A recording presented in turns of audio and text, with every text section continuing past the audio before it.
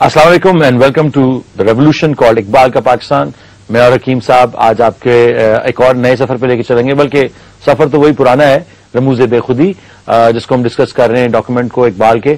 और इस शो को स्टार्ट करने से पहले आपकी एसएमएस का और आपके फ़ोन कॉल्स का बहुत बहुत शुक्रिया।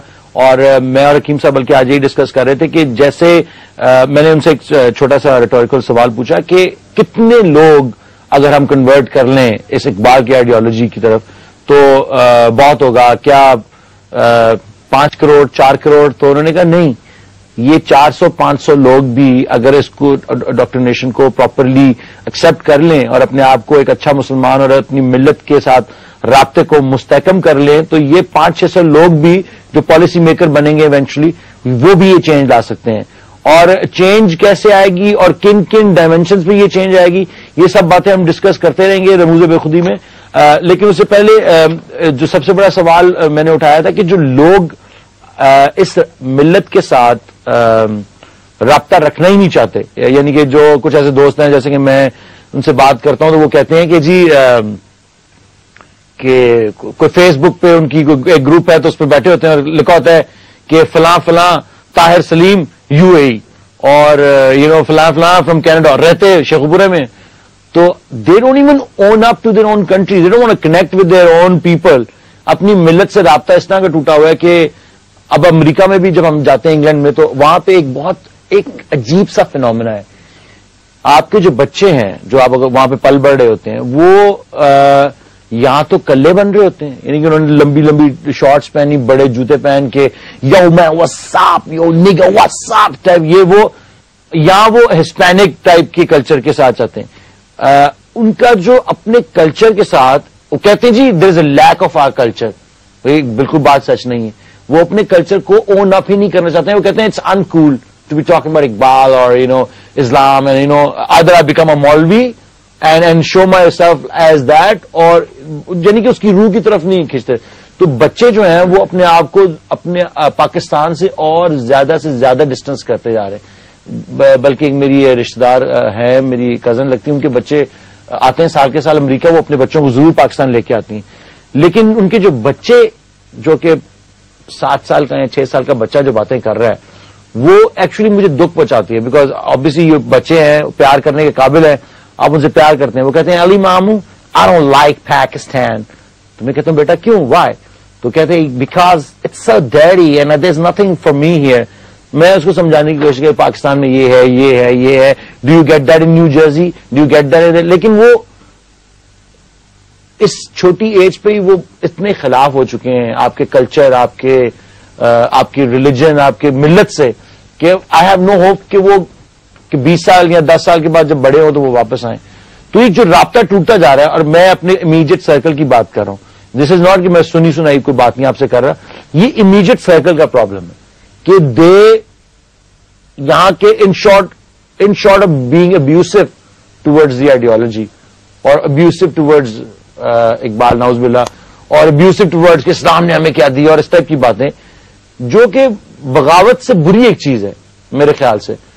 और ये रमूज बेखुदी के थ्रू जो ये जो अवेकनिंग हम सबके अंदर हो रही है, जो ऑडियंस जो हमसे सवाल पूछ रहे हैं एसएमएस आपको भी आ रहे हैं लेटर्स और और बहुत सारे ऐसे लोग हैं जो कि, जो हमारे साथ अलाइन कर रहे हैं। As far as information is concern उनको पता है कि ये लोग इस बात पे सोचते हैं तो हमें और इंफॉर्मेशन फ़ीड करें ताकि हम और पॉलिसीज़ बेहतर बना सकें और इन बातों को और क्लैरिफाई कर सके। तो ये ये जो नेक्स्ट जनरेशन का एक जो मसला है, जो कि पैदा ही अंग्रेज़ हुए हैं। पैदा ही वो दजाल की सूरत में पैदा हुए हैं ये बच्चे। इनके साथ हम क्या करेंगे? अगले अगले दस साल में तो हम पागल हो जाएँगे। नहीं अली देखो नहीं है इकबाल मायूस अपनी किश्त वीरा से। जरा नम हो तो ये मट्टी बड़ी जरखेज है साकी। वो अंग्रेज़ी में कहते हैं कि most of the impossibles are things which are never even tried लोगों ने इस मिशन को इम्पॉसिबल कर दिया था। क्योंकि कभी किसी ने देखा नहीं था कि इकबाल की आइडियोलॉजी का इम्पैक्ट कितना है कितनी पावरफुल है अल्लाह ताला ने इस कलाम में बरकत रखी है। इट हैज़ एक strange mystical powers built into this ये मुमकिन नहीं है कि कोई शख्स इकबाल के कलाम को पढ़े तो उसके बाद वो उसकी आँखों से आँसू ना निकले उसका दिल नरम ना हो उसका दिल ना चाहे अपने आप को मिल्लत से वाबस्ता करने का। हम्म। ये जिन लोगों का आप ज़िक्र कर रहे हो ना ये वो लोग हैं जिनको अंग्रेज़ी में लॉस्ट जनरेशन कहेंगे। क्योंकि उनका दिल तो मुसलमान है।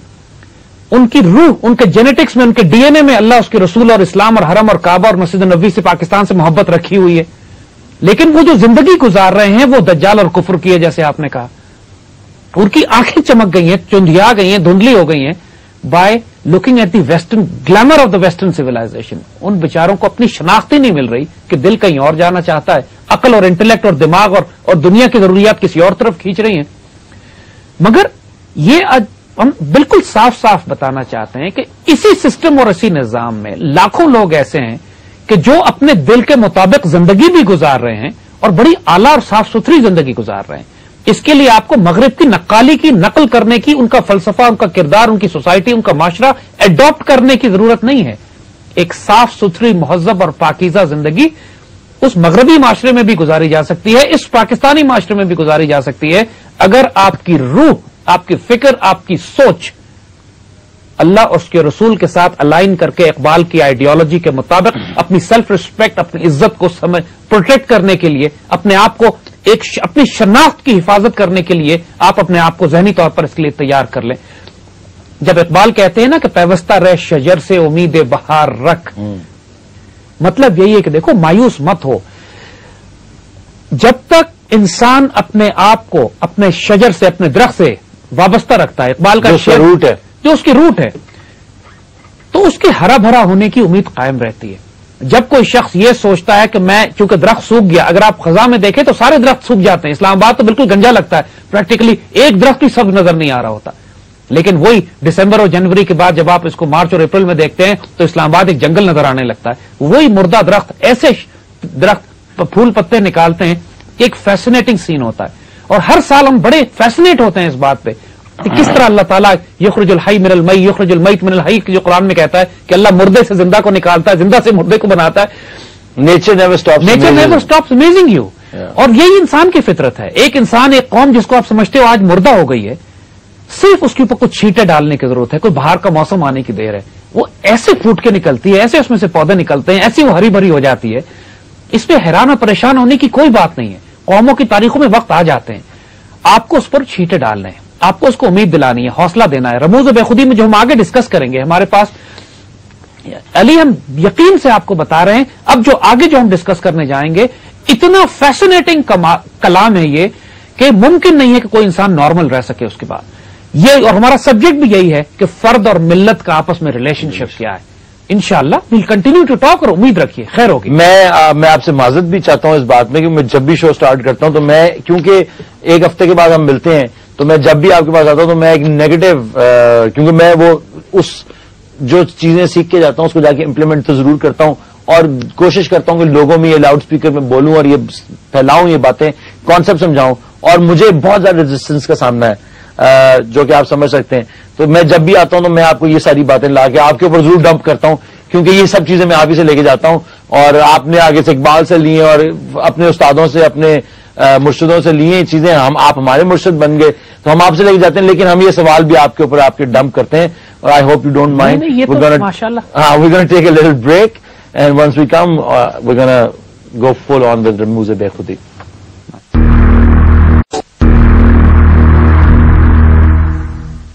welcome back टू इकबाल का पाकिस्तान आज के शो में कुछ एसएमएस और फ़ोन कॉल्स भी इंक्लूड कर रहे हैं ताकि uh, जो करंट अफेयर्स uh, के मुताबिक भी लोग हमसे बहुत सारे सवाल पूछते हैं और बहुत सारे सवाल जो आपके आते हैं हम प्रिंट करते हैं वो ऐसे सवाल आते हैं जो कि हकीम साहब एक दफ़ा नहीं दस दस दफ़ा इन सवालों के जवाब दे चुके हैं। Uh, और मेरे ख्याल से लोग बार बार वो सवाल करते हैं और हकीम साहब का ये कहना है और मेरा भी ये कहना है कि इकबाल का पाकिस्तान ऐसा शो नहीं है जिसको आप एक दफ़ा देख के समझ जाएँगे ये क्या हो रहा है। आपको ये शो बार बार देखना पड़ेगा।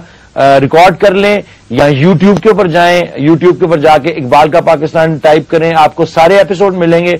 उसके अलावा बहुत सारे और लिंक्स हैं बहुत सारी और वेबसाइट्स हैं जिन्होंने ये शो अपने अपने लिंक्स पर डाला हुआ है। तो लाइक ए सेट के इकबाल का पाकिस्तान ऐसा शो नहीं है जो आप उसको एक दफ़ा देखेंगे और समझ जाएँगे। इस वक्त हम एक कॉल लेते हैं। हेलो सलामकुम जी कौन सा बोल रहे हैं? मतीन बात कर रहा हूँ कराची से। कैसे हैं दुआएँ सर आपकी आप कैसे हैं? शुक्र जी जी क्या सवाल पूछना चाहेंगे आप? सवाल तो पहले तो जैद साहब को सलाम। वालेकुम अस्सलाम मतीन। मतीन को अपनी जरा जी जी सुन रहे हैं आपकी बात। सवाल कीजिए। सवाल मेरा एक छोटा सा ये था कि कल ने मुल्लाइज्म और सूफीज़म दोनों को बड़ा क्रिटिसाइज किया अपने जितने भी अफकार हैं जितने भी नजामीन हैं जितनी भी गजलियात हैं। तो उनके अंदर उन्होंने क्रिटिसाइज सूफीज़म को और मुल्लाइज्म दोनों को किया। सवाल ये है कि जब ये दोनों रास्ते नहीं है तो फिर वो तीसरा रास्ता कौन सा है? वो कौन सा स्पिरिचुअल रेवोल्यूशन का रास्ता है या कौन सा रास्ता है कि जिसको हम अपनाएँ जो कि हमारे अंदर एक तब्दीली पैदा करे? Number one now the second question is कि इकबाल की कलाम में रोल ऑफ़ विमेन क्या है? रोल ऑफ़ कि रोल ऑफ़ विमेन जैसे औरतों का क्या किरदार है? जी. जैसे कि उन्होंने अपनी फातमा बिनते अब्दुल्ला में कहा और आपका जरब कलीम के अंदर उन्होंने एक पूरे चैप्टर औरतों के ऊपर लिखा है। उनका रोल बताया है कि उनका क्या रोल होना चाहिए मुस्लिम माशरे में। हमारी माएँ हमारी बहनें वो हमारे मुल्क के लिए क्या कर सकती हैं और उम्मत मुस्लिमा के लिए उनका क्या किरदार हो सकता है? बहुत बहुत शुक्रिया सर आपका मतीन साहब जी हकीम साहब देखिए- बड़ा ज़बरदस्त सवाल किया सेकंड वाला। बहुत खूबसूरत एक बात को जिसको समझने की ज़रूरत है कि तारीख इस्लाम में उलमा हमेशा दो तरह के रहे हैं। एक उलमा सू है एक उलमा हक हैं। उलमा सू उनको कहा जाता है कि जो बुराइयों की तरफ़ जाते हैं जो बादशाहों के दरबारों में दाखिल होते हैं जो रुपया पैसा मालो दौलत जमा करते हैं और पूरी कौम के जवाल का बायस बनते हैं। वो लोग जो कौम को रिचुअल्स में फंसा देते हैं लेकिन दीन की रूह उस तक नहीं पहुँचा पाते जो दीन को इस्तेमाल करके करप्ट करते हैं खुद भी और माशरे को भी। इसको इकबाल ने मुल्ला कहा है। ठीक। लेकिन उलमाए हक वो जो अल्लाह के बंदे इमाम अहमद बिन हम्बल इमाम मालिक इमाम शाफी इमाम अबू हनीफा या वो उलमा के जो वक्त के जमानों मुजद अल्फसानी वो तमाम लोग कि जो वक्त के फिरौनों के सामने स्टैंड लेके दीन की आबरू को बचाते हैं। वो लोग हमेशा अगर दीन हम तक पहुँचाए तो इस वजह से कि उलमाए हक ने हमेशा स्टैंड लिया दीन को बचाने के लिए। इकबाल उनको कभी क्रिटिसाइज नहीं करते। उनकी तो बल्कि उन्हीं की तरफ़ से रहनुमाई लेते हैं उन, उन्हीं की मिसालें बना के हमें देते हैं। लिहाजा जो मुल्ला का लफ्ज इकबाल इस्तेमाल करते हैं तो please keep this in mind कि मुल्ला से मुराद उनकी उलमाए सू हैं। कि जो बादशाहों के दरबारों में खड़े होते हैं वो जो बात कही जाती है कि आला तरीन ओलमा वो होते हैं कि जिनके दरवाजे पर बादशाह होता है। और बदतरीन उलमा वो होते हैं जो बादशाह के दरवाजे पर होते हैं। हैं। तो इसमें फ़र्क कीजिए। इसी तरह जब इकबाल ने सूफी को कंडेम किया है तो उन्होंने उन गद्दी नशीन उन पीरों को उन खानका वालों को उन पीरों की बात की है कि जो दीन के रूहानियत के स्पिरिचुअलिटी के तस्किए के डायनामिक कॉन्सेप्ट को तर्क करके सिर्फ़ अपने इस तरीकत के सिलसिले को एक्सप्लॉयट कर रहे हैं, इसलिए कि इनके बाप दादा कोई अल्लाह के वली थे या नेक थे। यानी कब्रों की लिटरली जो तिजारत की जा रही है, इकबाल ने कब्रों की तिजारत का लफ्ज इस्तेमाल किया है।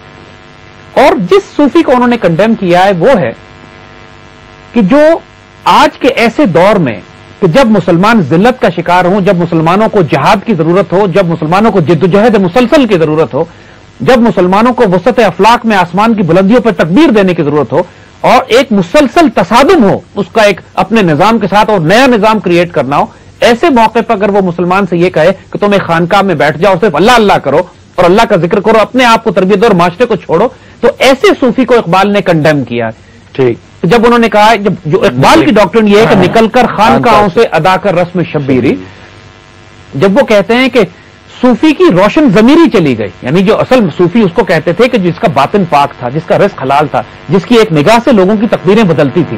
जब वो खत्म हो गए वो लोग, और सिर्फ़ वो ट्रेडिशन रह गया, रस्म अजा रह गई, रूह बिलाली ना रही, उसको कंडेम किया है इकबाल ने।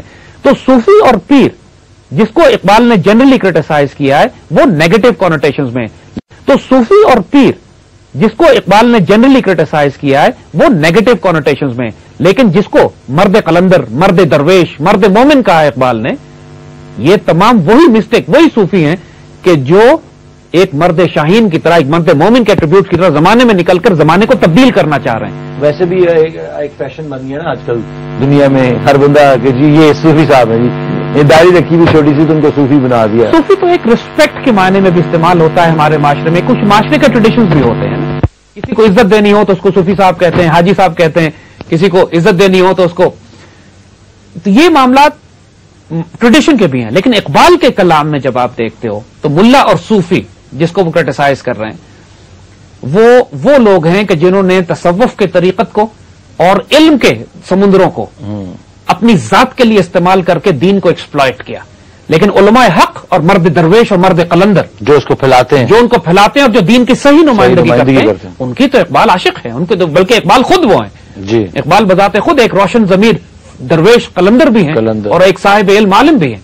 गो के उनको फॉर्मली कोई शख्स ये ना कहे कि मदरसे से डिग्री उन्होंने नहीं ली है। लेकिन जो इल्म और हिकमत अल्लाह ने उनको अता किया है उस पर बड़े बड़े उलमा रश करते हैं। और वो वही बात है ना कि उन्होंने फिर उस इल्म को आगे एक वो जो कॉन्सेप्ट ऑफ़ इश्तिहाद है of of restructuring your own thought pattern हैरत अंगेज हैरत अंगेज तौर पर उन्होंने उसको डेवलप किया है और मॉडर्न दुनिया के लिए उसको छोड़ गए। वही जो पैगाम उन्होंने कहा कि इंशाल्लाह ये पैगाम अगली आ, आती हुई सदियों तक ये बाद में मेरे बाद में ये पैगाम जारी रहेगा और इसका इकबाल कहते हैं कि मुझसे रूहानी तौर पर वादा किया गया है कि हर दौर में इकबाल के कलाम को अल्लाह ताला कोई ना कोई ज़रिया करेगा।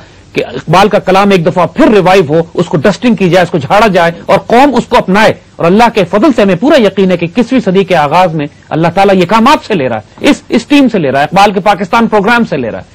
कि अल्लामा इकबाल से जो वादे किए गए इंशाला इकबाल ने रिवाइव होना है। इस कौम ने अरूज पे जाना है तो इकबाल ने रिवाइव होना है।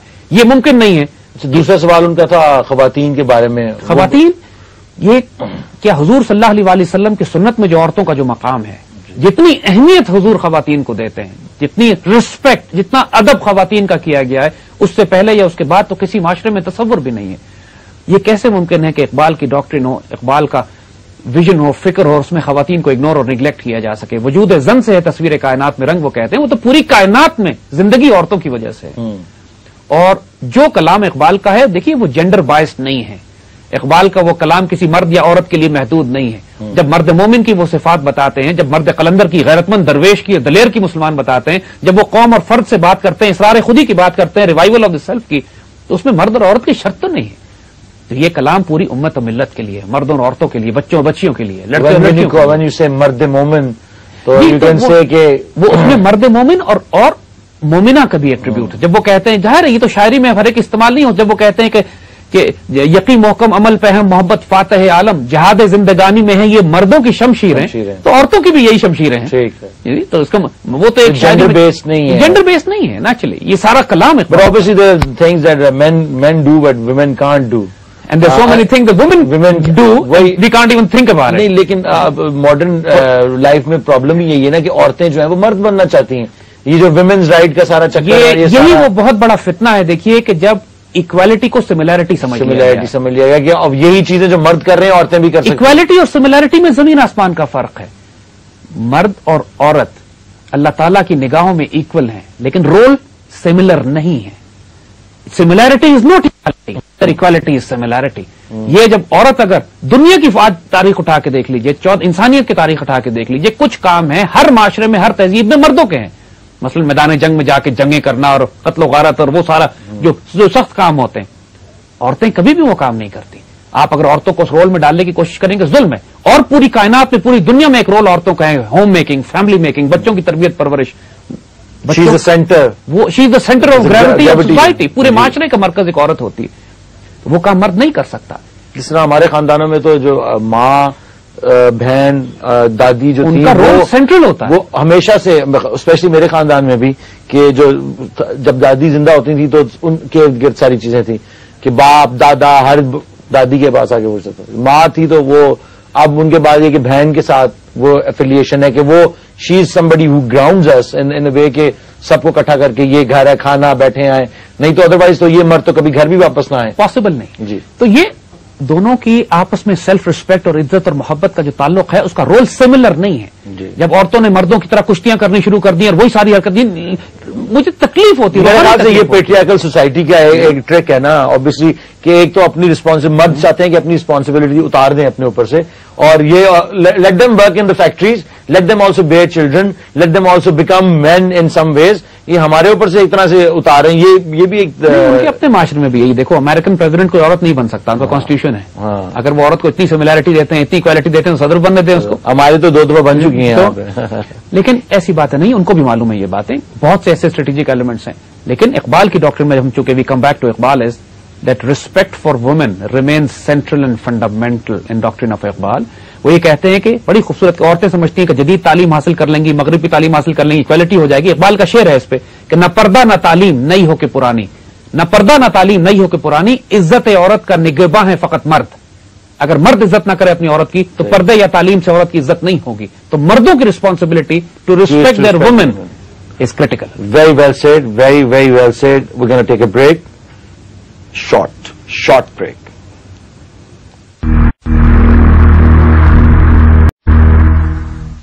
welcome back मेरे ख्याल से without any further delay we go read some of the Rumuz Bekhudi के जो आपने जी चॉइस यस क्योंकि रमूज बेखुदी अगेन एज वी सेट के पाकिस्तान के आज के जितने मसाइल आपको नज़र आ रहे हैं इसके लिए एक फंडामेंटल डॉक्यूमेंट है। This book should become the constitution of Pakistan ये हमारे कोर्स बुक्स में पढ़ाई जानी चाहिए। हमारी फॉरेन पॉलिसी के हर अफसर को ग्रेजुएट नहीं हो सकता जब तक वो रमूज बेखुदी ना पढ़ ले।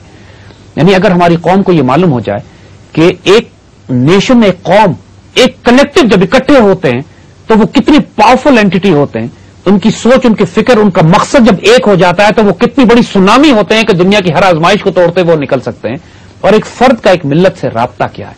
यहाँ इकबाल बड़ा खूबसूरत कहते हैं देखिए वो शेर जो हमने पहले डिस्कस किया था कि अगर पत्ता अपने दरख्त से टूट जाए तो मौसम में बहार में भी वो सब्ज नहीं हो सकेगा।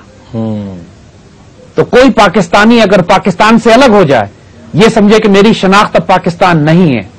ये समझे कि मेरी शनाख्त अब इस्लाम नहीं है क्योंकि पाकिस्तान और इस्लाम एक ही लफ्ज के दो दो ही लफ्ज हैं लेकिन मफहूम एक ही है दोनों का। ठीक।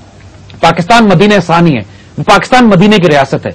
जो उस वक्त के दौर में किसी मुसलमान ने अगर मदीने से रिश्ता तोड़ लिया अपना तो उसने अपने दीन से भी रिश्ता तोड़ लिया। क्योंकि मरकज उस वक्त हमारे दीन का मदीना था। ये हमारा मरकज, रूहानी मरकज, मक्का और मदीने के साथ अल्लाह ने जो खत्त ज़मीन अब तैयार किया है कि उम्मत की इज़्ज़त और आबरू की हिफाजत के लिए वो पाकिस्तान है। हमने इकबाल का पाकिस्तान तलाश भी करना है, बनाना भी है। अल्लाह ने हमें खत्ता ज़मीन तो दिया हुआ है। उसकी रूहानी असास को समझने की ज़रूरत है कि कहते हैं कि देखो, जब फर्द कौम की सोहबत से जब एक फर्द को एक इंडिविजुअल को जब एक अली को एक जैद को जब हम में से हर शख्स को ये कौम मिलती है हमारी नेशन मिलती है पाकिस्तान मिलता है तो उसकी गर्मी से हम पुख्तर होते हैं। जब उसकी हिद्दत हमें मिलती है हमें पकाती है इट मेक्स अ स्ट्रांगर गोया मानन फर्द मिल्लत बन जाता है। यानी हकीकत में यह होता है कि हम में से हर शख्स पाकिस्तान बन जाता है। मैं भी पाकिस्तान हूँ तू भी तू भी पाकिस्तान पाकिस्तान है। ये कहानी नहीं है ये रियलिटी है। Each one of us have the strength of this nation with us जब हम रिप्रेजेंट करते हैं इस पाकिस्तान को, हम पाकिस्तान की बात करते हैं तो मैं और तुम्हारी अकेले नहीं खड़े होते। सोलह, सत्रह करोड़ लोग हमारे पीछे होते हैं। एक अरब मुसलमान उम्मत हमारे पीछे होती है। जब इस पाकिस्तान को इज़्ज़त मिलती है, पूरी मुसलमान दुनिया में खुशियाँ मनाई जाती हैं। जब हमने न्यूक्लियर एक्सप्लोजन किया था तो इंडोनेशिया से लेकर नॉर्थ अफ्रीका तक मुसलमानों ने चरागा किया था। घरों पे, घरों से बाहर निकल आए थे, जुलूस निकाले गए थे, मिठाइयाँ बांटी गई थी। सिर्फ़ पाकिस्तानियों ने नहीं बांटी थी। उम्मत मुस्लिम ने फलस्तीनी बच्चों ने उस दिन इसराइलियों की आँखों में आँखें डाल के बात की थी। अब हम तुम्हारे साथ हिसाब करेंगे कि अब हमारे पास भी एटम बम आ गया। हमारी इज़्ज़त और आबरू हमारी मिल्लत के साथ होती है। ये हमारी वजूद में दाखिल। देखिए कोई जर्मन ब्रिटिश हिस्ट्री को ओन करके ये नहीं कहेगा कि वो हमारी तारीख है। कोई फ्रेंच इटालियन हिस्ट्री को ओन करके ये नहीं कहता कि वो हमारी तारीख है। हम मुसलमान खिलाफत उस्मानिया की तारीख को अंदलूसिया की तारीख को खिलाफत रास्ता की तारीख को ओन करके कहते हैं हमारी तारीफ़ है। सही कह रहे हैं हमारी फितरत में ये बात शामिल है कि हम मिल्लत से जोड़ा जोड़ते हैं अपने आप को। हम कहते हैं हमने स्पेन पे हुकूमत की। हम इस तरह कहते हैं जैसे मेरे बाप दादा ने की। बिल्कुल सही। हम इस तरह कहते हैं कि खिलाफत उस्मानिया में हमने ऐसी हुकूमत बनाई कि चीन से लेकर यूरोप तक फैली हुई थी। और जो शेर शाह सूरी या गौरी या जो और हमारे बड़े थे और आए और हम लोग हमारा इनसे कोई तलक नहीं है हालाँकि एथनिक या अदरवाइज़ लेकिन हम इनको अपना हम इस तरह मानते करते हैं। जैसे हमारे बुज़ुर्ग हैं ये। हम्म, ये हमारे वो- दुनिया की किसी कौम में ये एट्रीब्यूट नहीं है। अगर सोचो गौर से कि इतनी पावरफुल एंटिटी है ये कि जब हम अपने आप को 1400 साल की मुस्लिम तारीख जो मशरक से मगरब तक फैली हुई है हम उससे रिलेट करते हैं ऑन करते हैं। We must is the this is the biggest strength we have ये अगर हम सिर्फ़ ये कहें कि पाकिस्तान लोग कहते हैं पाकिस्तान बासठ लोग आज भी एतराज़ करते हैं कि जी हम बलोच कौम है हमारा 9000 साल पुराना बलूच है हम पाकिस्तानी तो हम 60 साल पहले बने। ये separatist Baloch Balochistan liberation army के दहशतगर्द ये बात करते हैं। नॉर्मल बलोच तो ये बात नहीं normal ninety nine percent Baloch जो पाकिस्तान से प्यार करने वाले सिंधी या पठान। कोई भी नहीं करता। कोई पाकिस्तान में मुझे ऐसा बंदा ना मिला कि जो कहे कि मैंने जितने पाकिस्तान में लोग बसते हैं वो कहते हैं पहले हम मुसलमान हैं। हमारा रिश्ता हजूर की नस्बत से हमारा ताल्लुक मक्के और मदीने की नस्बत से हमारा ताल्लुक अल्लाह के रसूल की जात मुबारक से। फिर हम पाकिस्तानी हैं। उसके बाद शनाख्त के लिए हम सिंधी बलोची पठान महाजिर हैं। जितने पाकिस्तानी चौदह करोड़ सत्रह करोड़ जो पाकिस्तानी यहाँ बसता है उसका सीक्वेंस ऑफ़ प्रायोरिटीज यही है। जो लोग इस मिल्लत से अलग होते हैं देखिए डिवाइड एंड रूल इस, इस, फिरौन के सिस्टम का एक खास तरीका ये पहले इंसानों को कौमों में तोड़ते हैं फिर कौमों को छोटी कौमों में तोड़ते हैं फिर छोटी कौमों को अफराद में अलग करते हैं। अनारकी और क्योस फैलाते हैं लॉ एंड ऑर्डर तोड़ देते हैं कि हर इंसान आवारा होकर फिरता है। इंडिविजुअलिज्म इज़ अ ट्रैप कि सेंस ऑफ़ डायरेक्शन नहीं है। अगर कोई शख्स किसी कलेक्टिव कम्युनिटी के साथ वाबस्ता नहीं है तो वो हलाक होता है। जितनी बड़ी कम्युनिटी होगी, उतनी उसकी स्ट्रेंथ होगी, उतनी उसकी ताकत होगी। वही बात कि मक्के ने दिया पैगाम जनेवा को, इकबाल ने जो शेर कहा था कि जमीयत अकवाम या जमीयत इंसान। यानी या तो कौमों को तोड़ यूनाइटेड नेशन में वो कहते हैं एक सौ अस्सी कौमें, वो उसको छह सौ अस्सी कौमें बनाना चाहते हैं। हम्म। अलग अलग मुल्क निकालना चाहते हैं मजीद मुल्कों को तोड़ के छोटा करना चाहते हैं। युगोस्लाविया के सात आठ मुल्क निकाल दिए पाकिस्तान के चार बनाना चाहते हैं फिर इंडिया के तोड़ना इंडिया चाहते हैं 40 बनाएँगे चालीस बनाएँगे। तो ये तो और, और फिर उनको बाद में जोड़ेंगे। यानी कि ये कि पहले तोड़ो फिर जोड़ो जोड़ो इसलिए कि उनकी तो उनके लिए बेखुदी का जो सबसे सबसे हैरत अंगेज पहलू ये है कि इंसान को वो ये बताते हैं इकबाल के फर्द का मिल्लत से क्या रहा है। अपने आप को मिल्लत देखो खुद जब दुनिया में जहाँ कहीं हो वहाँ तो और ये अजीब बात है जब हम पाकिस्तानी मुल्क से बाहर होते हैं ना तो हमारा पाकिस्तानी होना हमारी रिश्तेदारी बन जाता है। है। कि दुनिया में कहीं भी होता है क्रिकेट मैच में आप देखो दुबई में जानते भी नहीं होंगे। लेकिन वो चालीस पचास हज़ार पाकिस्तानी जो पूरे दुबई में या मिडल ईस्ट में खुशी से कट्ठे नारे मारता है कि जब हम जीत रहे होते हैं वहाँ पे। उस वक्त हमारी रिश्तेदारी होती कोई नहीं पूछ रहा होता तुम सिंध के हो पंजाब के हो। बलूचिस्तान के हो। एक सब हिलाली परचम होता है उस आँखों से सब बाहर जाके ज़्यादा पाकिस्तान में भी ऐसा कोई चक्कर नहीं है कि एक दूसरे से लड़ रहे हैं कुछ कोई भी नहीं होता, कोई भी नहीं करता। माशाल्लाह मैंने कभी नहीं देखा कि कोई सिंधी का शुक्र है कभी नहीं देखा। और ये फैलाने की कोशिश की जा रही है। एक कॉल लेते हैं बहुत देर से मेरे कान के अंदर एक आवाज़ आ रही। हेलो अस्सलाम वालेकुम अली दिस इज़ आयशा सलामकुम आयशा कैसी हैं आप? मैं बिल्कुल ठीक हूँ। अली हाउ आर यू मैं बिल्कुल ठीक ठाक हूँ। क्या सवाल पूछना चाहेंगे आप? मेरा सवाल है हकीम साहब से। जी। वालेकुम वालेकुम अस्सलाम। सर कैसे हैं आप? अल्लाह का शुक्र। मेरा एक बहुत छोटा सा सवाल है रिगार्डिंग दी बेसिक नॉलेज क्योंकि I am a training lawyer and a social activist मैं ये पूछना चाहती हूँ कि इकबाल के कलाम में एक बहुत कशिश है अ, इसमें कोई शक नहीं है और अ, जो भी वो पढ़ता है उसकी तरफ़ खिंचा चला जाता है। मैं ये पूछना चाहती हूँ कि वो बहुत ज़्यादा फॉर्मली एजुकेटेड भी थे और उनमें एक रूहानियत भी थी।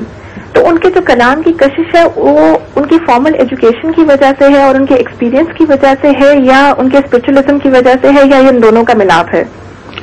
That आपने कहा था बड़ा छोटा सा सवाल है लेकिन काफ़ी बड़ा सवाल था।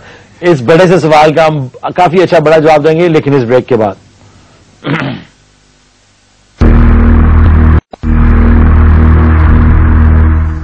वेलकम बैक हकीम साहब बड़ा अच्छा सवाल पूछा है खातून ने आयशा जो थी।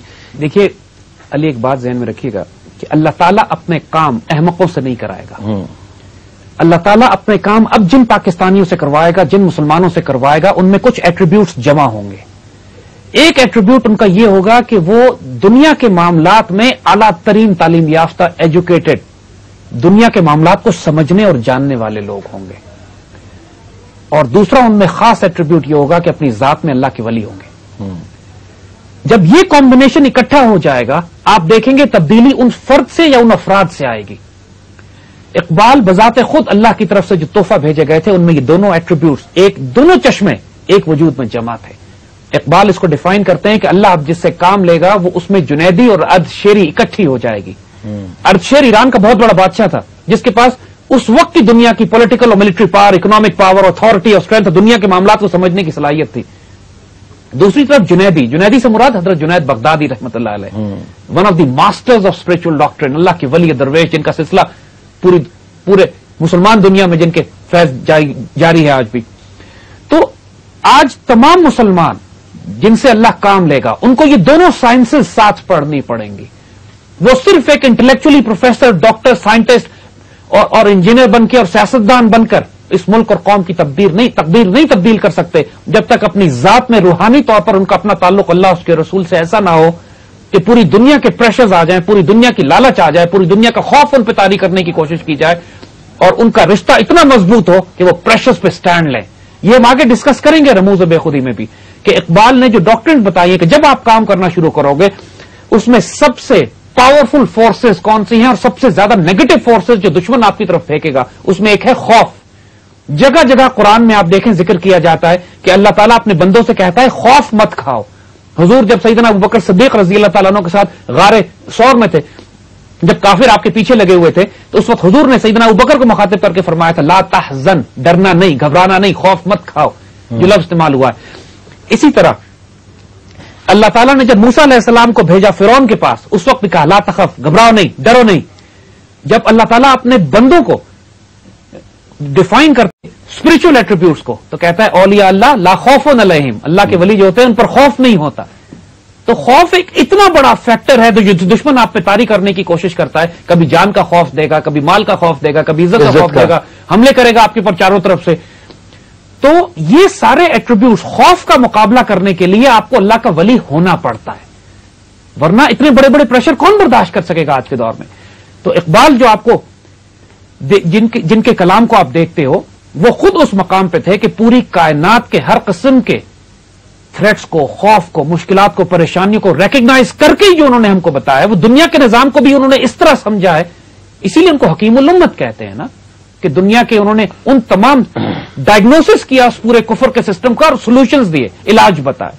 जिस तरह आप बड़ी अच्छी बात कर रहे हैं इस वक्त कि एजुकेशन के हवाले से आप माशाल्लाह एक इंजीनियर हैं बाय प्रोफेशन और आपने कोई डिग्री कोई बस इंजीनियरिंग की डिग्री अलहमदुल्ला NED NED university Karachi. I very proudly own that university माशाल्लाह मुझे बड़ी पसंद है। बाय द वे लोग मुझसे पूछते हैं कि उसके बाद आप अफ़गानिस्तान जहाज़ में गए हाँ। तो आपने क्लैशनकॉफ चलाना कहाँ से सीखी? तो हम कहते हैं एनईडी यूनिवर्सिटी से। उस जमाने में स्टूडेंट यूनियंस का जमाना हंगामा था और ये चीज़ें बड़ी आम थी। जी। But I love my university I really look forward to go to it someday इंशाल्लाह जो मैं आपसे एक्चुअली सवाल कर रहा हूँ वही है कि ऑब्वियसली जो आपकी फहमो फरासत जिसको कहेंगे, वो एक एजुकेशन बेस्ड है। आप वैसे भी एक पढ़ी लिखे खानदान से आपका ताल्लुक है तो वो एक स्पिरिचुअल गाइडेंस वहाँ से भी थी, फिर तालीम थी, फिर उसके बाद आप जहाज़ में गए, उसके बाद आपने खुद अपनी आँखों से सारा बैटल फ़ील्ड स्ट्रेटजी एनालिसिस हर चीज़ देखी।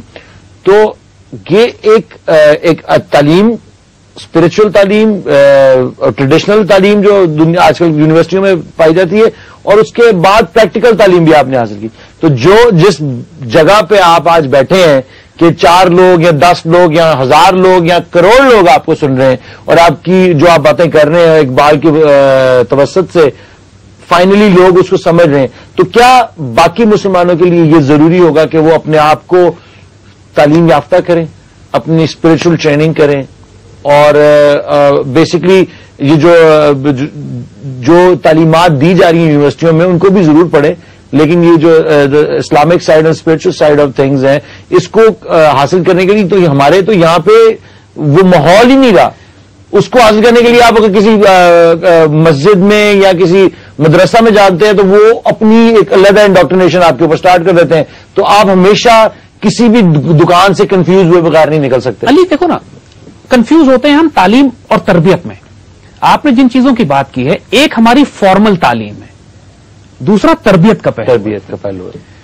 तरबियत माँ बाप करते हैं घरों से होती है उस्ताद और मुर्शिद करते हैं और जमाना तरब एक्सपीरियंसेस आपकी तरबियत करता है जो आपका किरदार बन के निकलता है। हमारे तालीमी निज़ाम में तो हमको सिर्फ़ यह सिखाया जाता है कि अच्छी जॉब्स कैसे ली जा सकती हैं अच्छा मैकेनिक कैसे बना जा सकता है। इंजीनियर और डॉक्टर भी with due respect glorified mechanics ही बिल्कुल सही कह और ये हमारा एजुकेशन सिस्टम है। इसमें तरबियत तो नहीं होती। उसमें मोरालिटी इखलाकियात और रूहानियत का तो कोई दखल ही नहीं है। हमारे नौजवानों का जो अलमिया है हमारी नस्ल का जो अलमिया है वो यही है कि हमारा फोकस सारा तालीम का मकसद इकोनॉमिक्स होता है सिर्फ़। नौकरी मुलाजमत अच्छा कैरियर नॉट इनलाइटनमेंट इनलाइटनमेंट नहीं है। अपने आप को पुरनूर करना नहीं है अपने वजूद that is the basic that is the issue अगर घर में ज़ाहिर है ये एफर्ट हमें खुद करनी पड़ेगी।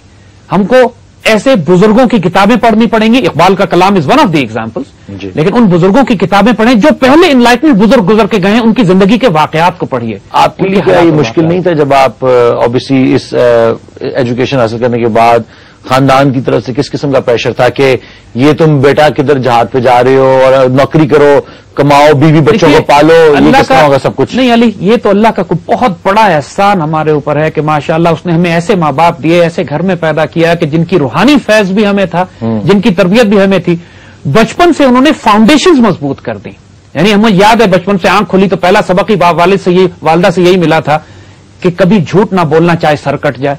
कभी हराम रस को हाथ ना डालना चाहे भूखे रहना पड़े। ये तरबियत थी फाउंडेशन की। अगर आज आप देखें हमारे कि यही वो चीज़ें जब मैं इकबाल को पढ़ता हूँ तो आई रियलाइज़ कि यही सब कुछ तो इकबाल ने हमें बताया कि तायर लाहौती उस रिस से मौत अच्छी जिस रिस्क से आती है परवाज में कोता ही। और वो खौफ वाली बात कि जमाने के खौफ होते हैं तो इंसान कॉम्प्रोमाइज करता है। इंसान हराम क्यों खाता है? या लालच की वजह से या खौफ की वजह से? खौफ की वजह से सही कह उसको जमाने का खौफ होता है लोग क्या कहेंगे मेरे पास प्रेशर नहीं है सोशल स्टेटस मेरा ठीक आगे। क्या होगा? आगे क्या होगा? लोग पूछते हैं ना आगे आगे क्या होगा आपका? जी। कल क्या करोगे? तुम गुजारा कैसे अभी तो ठीक है लेकिन अभी बाद में क्या करोगे? यानी कुरान जो बार बार कहता है कि कितनी चिड़िया सुबह निकलती है वो अपना रिस्क साथ लेकर नहीं निकलती लेकिन जब शाम को वापस आती है तो उसका पेट भरा होता है वो अल्लाह पे तवक्ल करती है। मैं वही सवाल था आपने आप किस तरह इस प्रोसेस में से गुजरे?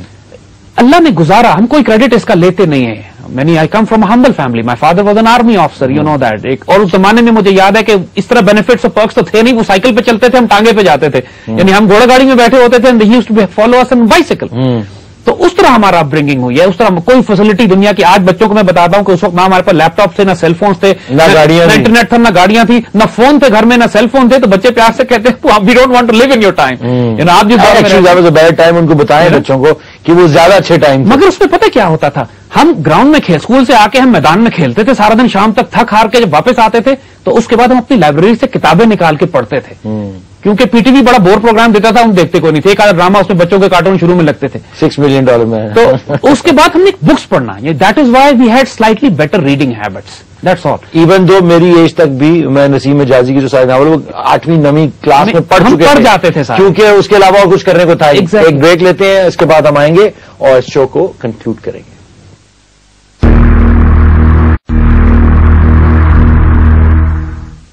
वेलकम बैक टू इकबाल का पाकिस्तान Uh, तो आप बेसिकली मैं आपसे डिस्कस कर कि लोग जो हैं जैसे बार बार बहुत सारे सवाल जो बार बार कि हम किस तरह करें, हम इस रास्ते पे कैसे चलें, हमें किस तरह पता चलेगा कि कुदरत का, कुदरत ने हमारे लिए क्या इंटेंशन रखी थी और हम किस तरफ़ चल पड़े और ये पूरे सिस्टम को हम किस तरह डिफाई करें। ये बहुत सारे सवाल आपके सामने होते हैं।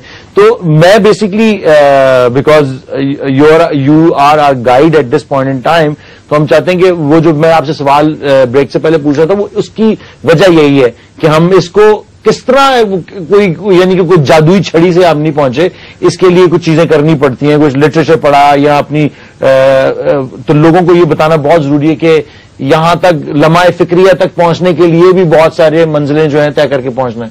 अली, आपकी बात देखो अस्तफुल्ला अजीम I am a very humble person हम अस्तफुल्ला कोई तकबर नहीं है उस बात का कि अल्लाह ने जो कुछ हमें अता किया है। आई नो ये सब रहम और करम और फजल है और दुआओं से अपने बुज़ुर्गों की वालदेन की अल्लाह ताला ने आसानी की है। और साथ लोग हमसे पूछते हैं कि शायद आप मुल्क से बाहर कहीं तालीम हासिल की आप पीएचडी हैं डॉक्टर हमें लोग बना देते हैं आपने हकीम साहब कह के तो इज़्ज़त अफजाई की लोग हमें डॉक्टर बना आई फील एम्बेस्ड क्योंकि मुल्क से बाहर मैं कभी गया ही नहीं। आप बेसिकली इंजीनियर साहब। मैं इंजीनियर ज़्यादा आपको प्यार से अमित शाह मसूद इंजीनियर साहब कहा करते थे। और कभी कभी कभी मुल्क से बाहर गया भी अमेरिका भी और इंग्लैंड भी तो 10-12 दिन के लिए वो दफ्तरी कामों से कुछ चक्कर चक्कर लगा के 10-12 दिन में आ गए। कभी वहाँ की तालीम नहीं हासिल की उस निज़ाम में रहा नहीं हूँ। आई एम अल्लाह का फजल है थॉरोब्रेड पाकिस्तानी। मेरी मट्टी भी यहीं से उठी है मेरा पानी भी यहीं का है मेरा नमक भी यहीं का है मेरा खमीर भी इधर का ही है और इंशाला मेरी कब्र भी यहीं होगी। और इसी माहौल में इसी माशरे में इसी इन्वायरमेंट में अल्लाह ताला ने हमें वहाँ पहुँचाया जहाँ आज हैं। और वो बात जो आप कर रहे थे तो ये जौहर हमारे लिए एक्सेप्शन तो नहीं है। हर पाकिस्तानी बच्चा यहाँ पहुँच सकता है। और उनके अंदर ये उनके अंदर ये सलाहियत मौजूद है। हमने जो किताबें पढ़ी हैं वो मार्केट में वो किताबें मिलती हैं। लामा इकबाल भी मार्केट में है नसीम हिजाजी भी हैं मुख्तार मसूद की किताब भी मिलती है। यहाँ पे मुख्तार कुदरतुल्ला शहाब और अशफाक अहमद और मुमताज़ मुफ्ती भी इधर ही बैठे हुए हैं। और माशाल्लाह, तमाम बड़े बड़े बुज़ुर्ग जो हमारे यहाँ बसते हैं, हज़रत दाता साहब की लाइफ हिस्ट्री पढ़ी है बाबा फरीद की पढ़ी है, मोइनुद्दीन चिश्ती की, हज़रत हज़रत निजामुद्दीन औलिया की, इन लोगों की लाइफ फिर महमूद गजनवी से लेकर मुगलों तक भी, और उसके बाद खिलाफत उस्मानिया और अंदलूसिया की तारीख, यही सारी तारीख मजमुआ कर दीजिए आप तो एक पर्सनैलिटी फॉर्म होती है। एक जुनून, एक दीवानगी के यार हमने जो इतनी शानदार अजमत जाया कर दी है, उस अजमत को हम दोबारा कैसे हासिल करें? यही जुनून इकबाल में था। इकबाल को फौजी नहीं थे, उन्होंने कभी किसी जंग में हिस्सा नहीं लिया। वो सिर्फ़ एक नरम दिल रखने all you need is a heart which is soft all you need eyes which can cry in the love of the उम्मत सल्लल्लाहु आपका जो सिर्फ़ खजाना है, वो रोने वाली आँख और एक एक रोने वाला दिल है। देखिए, इकबाल जब यहाँ पे रमूज बेखुदी में कहते हैं ना कि सारे राज तुम हासिल करना चाहते हो तो कहते हैं एक मुसलमान कौम, तुमने अपनी खुदी को नहीं समझा। तुमने अपनी खुदी और बेखुदी, दोनों लफ्ज इस्तेमाल करते हैं, इसलिए असरार खुदी थी और रमूज बेखुदी है, दो किताबें। कहते तुमने अपनी खुदी और बेखुदी को नहीं समझा और इसकी वजह से तुमने अपने आप को शक में डाल दिया। इसी वजह तुम डाउट में हो कि हम ये अरूज हासिल कर सकते हैं या नहीं, हम आज वो मकाम कैसे हासिल करेंगे? और कहते हैं, हकीकत यह है कि तुम्हारे दिल के अंदर जो नूर का जौहर था, जो नूर तुम्हारे वजूद में मौजूद था, जिस नूर से तुमको अपनी अकल को रोशनी बख्शनी थी, तुमने उस नूर को जाया कर दिया। बड़ा खूबसूरत शेर इनका जो है कि नूर का जौहर जो तेरे खाक के अंदर था तेरी फहम का जलवा उस एक नूर की शुआ है। यानी देखिए ये बात इंसान का इंटेलेक्ट उसी तरह बिहेव करता है जिसको जिस तरह की एनर्जी उसको मिलती है। जिसको इंग्लिश में कहते हैं you are what you eat तो इंसान के जहन को जो गजा आप देंगे उस तरह जहन बिहेव करेगा। अगर जहन को आप अपने नफ्स से पालेंगे अपने डिज़ायर से पालेंगे लफ्स से पालेंगे वो उसी तरह इवल बिहेव करेगा। अगर अपने कल्ब से पालेंगे जो अल्लाह ताला के नूर का मरकज आपके वजूद में है, जो हिदायत को रिसीव भी करता है रेजोनेट भी करता है। जिसको इकबाल खुदी का नाम देते हैं। इंसान की सेल्फ रिस्पेक्ट ईगो डिग्निटी वकार इज़्ज़त नफ्स उसके वजूद में अल्लाह के नूर का मरकज। इसको जब आप ये आपके इंटेलेक्ट को जब फ़ीड करता है तो आपका इंटेलेक्ट फिर अपने वो रास्ते तलाश करने लगता है कि जो शाहीन सिर्फ़ बुलंद निगाह लोगों के रास्ते होते हैं जिनको इकबाल कहता है कि जब इससे फिर निगाह बुलंद होती है सुखन दिल नवाज़ होता है, जहाँ पुरसोज होती है, वजूद स्पिरिचुअल हो जाता है। और जब ये डायमेंशन तुम्हारे वजूद में पैदा होते हैं, फिर तुमको कायनात के तारीख रास्तों में अपनी निगाह ऐसे, तुम्हारी तेज काम करती है, तुमको अपने रास्ते ऐसे नज़र आते हैं कि ज़मीन और आसमां और कुर्सी और अर्श, खुदी की जद में सारी खुदाई। पूरी कायनात तुम्हारी रेंज में होती है। ये क्या बात पाकिस्तान की करते हैं, या एशिया की करते हैं? एक मर्द मोमिन की थिएटर ऑफ़ ऑपरेशन उसका बैटलफील्ड उसका एरिया ऑफ़ ऑपरेशन पूरी कायनात होती है। No boundary no boundaries to it imagine करें कि जो जो कायनात में ऑपरेट कर सकता हो उसको ड्यूटी दी जाए कि तुमने पाकिस्तान को ठीक करना है तो कितना मुश्किल काम है।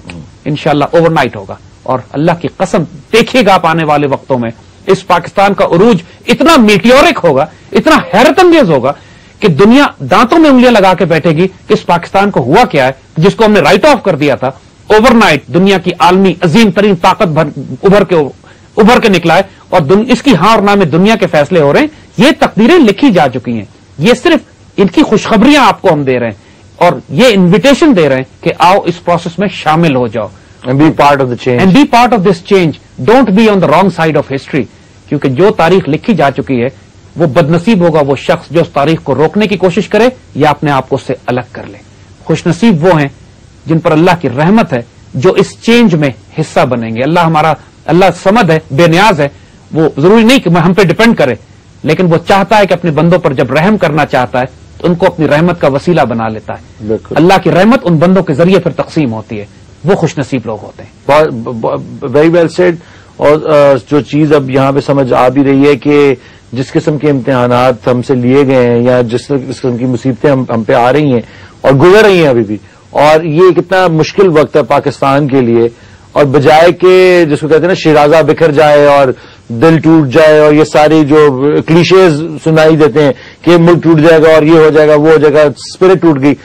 I see another very very positive change इसके ये और ज़्यादा अंदर से मज़बूत होते जा रहे हैं। What what which doesn't kill you makes you stronger and it definitely is making this nation stronger और हमें uh, मौका दिया है कि हम इन, इन, इन तालीमत की तरफ़ जाएँ और हमें मौका दे रही हैं। ये सारी प्रॉब्लम्स जो हैं हमें कि हमें मौका मिल रहा है कि हम अपने आप को अपनी अपनी सफे सीधी अली इस बात को देखो ना कि अगर पाकिस्तान उरूज हासिल कर लेता और इकबाल की डॉक्ट्रिन को हमने रिवाइव ना किया होता फिर तो हम कहीं के नहीं रहते। उरूज तो मिलना ही नहीं हमको। हम्म। अल्लाह ने जो मौका दिया है हमको कि पाकिस्तान के उरूज से पहले उसकी एक नजरियाती फिक्री और रूहानी बुनियाद बनाई जा रही है फाउंडेशन बन रही है जिस पर एक अजीम कौम ने अब खड़ा होना है। इनशाला ताला like I said and we obvious say this revolution will be televised बहुत बहुत शुक्रिया हकीम साहब और आइंदा आपको अगले हफ़्ते मिलेंगे प्लीज़ कीप वॉचिंग इकबाल का Pakistan and keep writing to us thank you very much खुदा हाफिज